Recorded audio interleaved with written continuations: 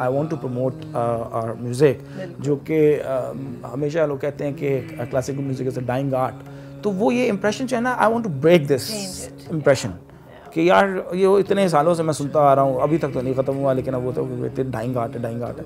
तो वो मैं कहता हूँ कि इसको बचाया जाए ये ये जुमला ख़त्म हो जाए। वो एक फ़ैशन भी बन गया। ये भी होता है कि कहते हैं कि हाँ जी वो आ, ये तो म्यूज़िक जो है ना वो हमें समझ नहीं आती है कि हमारे लिए तो है ही नहीं। ये तो बड़े लोगों के लिए बूढ़े लोगों के लिए वो करते भी वही हैं सुनते भी वही हैं। मैं एक सवाल करता हूँ सबसे। उस्ताद फतेह अली खान एक नाम उस्ताद मानद अली खान साहब एक नाम है।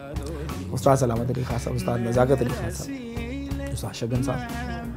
इस तरह और बेशुमार हमारे जो हैं, बड़े क्लासिकल सिंगर्स और आगे ही मैं चलता हूँ कि जैसे मैडम नूर शाह, फरीदा खानम जी, इकबाल बानो जी।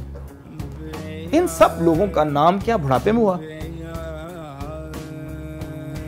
ये सवाल मैं सबसे करना चाहता हूँ, जो लोग ये बात करते हैं, कि क्या इन लोगों का नाम जो है, वो बुढ़ापे में हुआ था?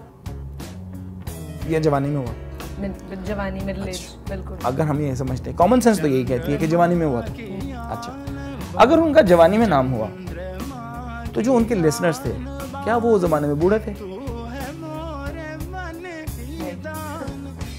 लेकिन वो भी मेरा ख्याल है जवान होने चाहिए। और क्या आप बूढ़े हैं? नहीं। अब आप यहाँ अब अब यहाँ यहाँ वही ना उस चीज़ को मैं यहाँ लेके आना चाहता हूँ।